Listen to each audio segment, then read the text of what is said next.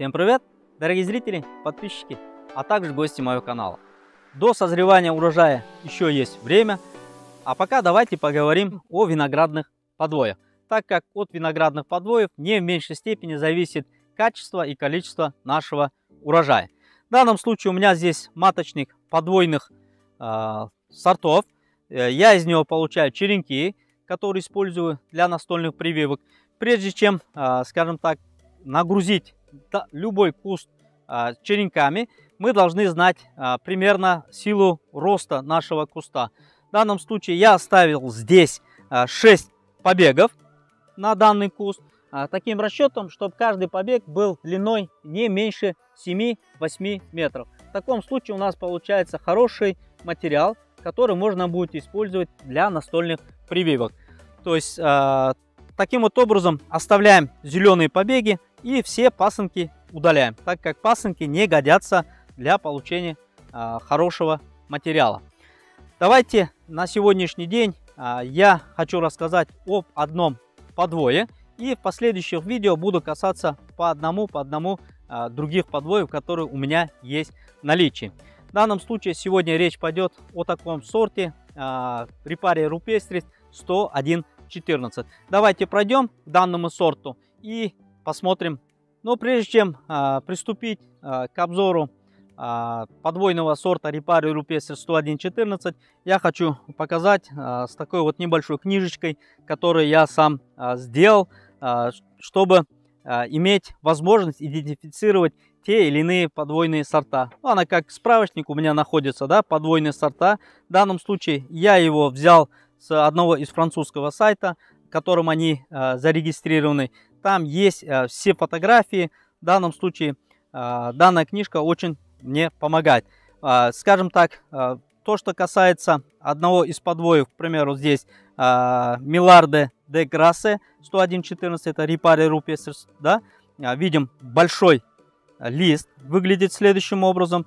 Также видны у нас молодые листья, как выглядят, и форма цветка. А здесь с этой стороны находятся амплиографические признаки, описаны то есть э, все вот эти моменты, на которые нужно будет э, обращать внимание. Здесь описаны форма листа, форма э, черешковой выемки, какие бывают побеги. То есть все вот эти характеристики здесь есть.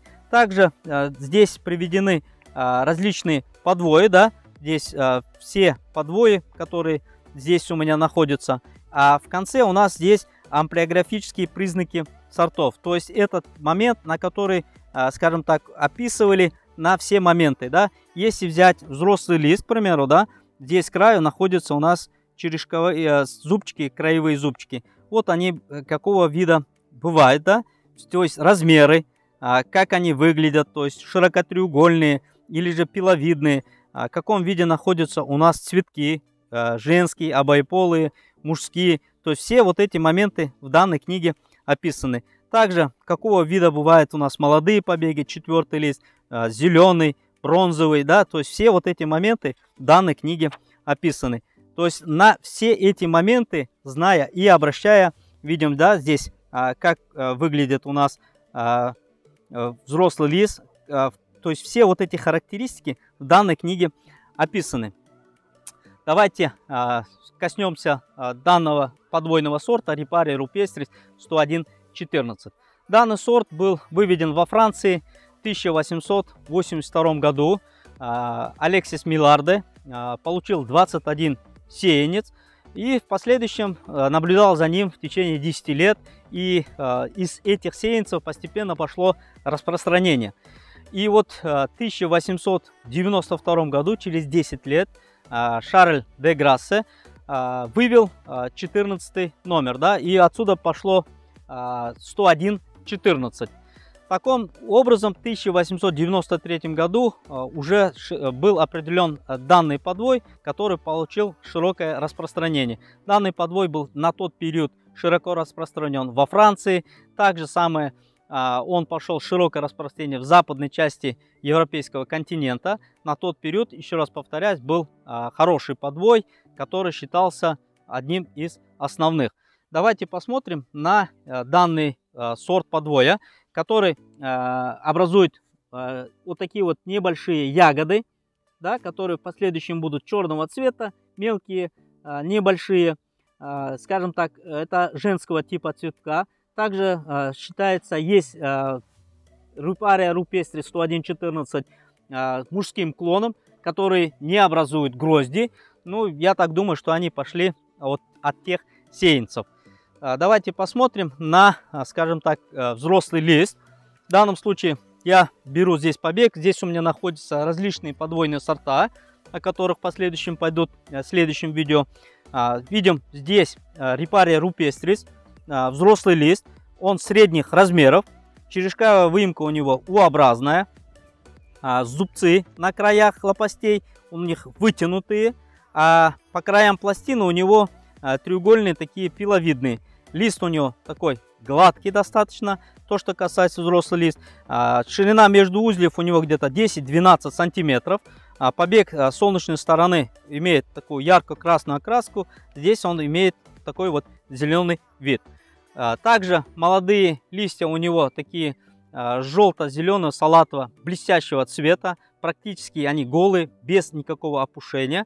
А, скажем так, э, усики у него такие э, двойные. Это то, что касается а, данного амплиографических признаков, то есть внешних данных данного сорта. А, данный сорт является среднерослым, хорошо подходит для а, хороших плодородных почв, также хорошо подойдет для глинистых почв, хорошим содержанием органики, перегноя, да, то есть и с обеспечением влаги должно быть сбалансированным так как у него корневая система находится на поверхности относительно, она глубоко не уходит. За счет этого а, обеспечение а, водой должно быть сбалансированным, то есть не пересыхать. Также а, устойчивость к активной извести у данного сорта всего 9%. А, если касаться извести, а, считается общая известь это содержание в процентном соотношении, а активная известь это мельчайшие частицы, которые составляют всего 0,02 0,02 тысячных а, миллиметра. То есть они настолько мелкие, которые взаимодействуют с нашими корнями. Так вот, а, активная извести, она устойчива всего 9%.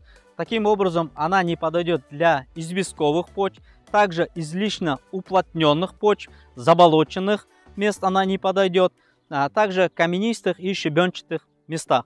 Данный подвой не подойдет. А, у данного подвоя короткая вегетация. За счет этого она быстрее начинает сбрасывать листья. За счет своей короткой вегетации или ускоренной вегетации сорта привитые на нем а, значительно ускоряются в созревании. То, что корневая находится на поверхности, она быстрее прогревается и быстрее работает и взаимодействует. То, что я у себя заметил, да, если вы хорошо поливаете капельным орошением, она сила роста практически не уступает и другим подвойным а, сильнорослым сортам. То есть примерно составляет, условно говоря, от Кобера 5ББ где-то процентов 75-80.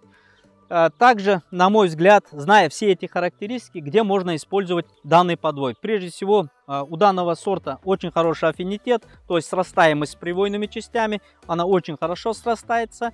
А, и а, за счет своей а, относительно средней силы роста можно использовать загущенные посадки, то есть расстояние будет укороченное. Также можно данный подвой использовать в теплицах, где срок созревания не в меньшей степени, то есть да, создавая теплицу, люди стараются, чтобы быстрее у нас ягода, скажем так, подошла.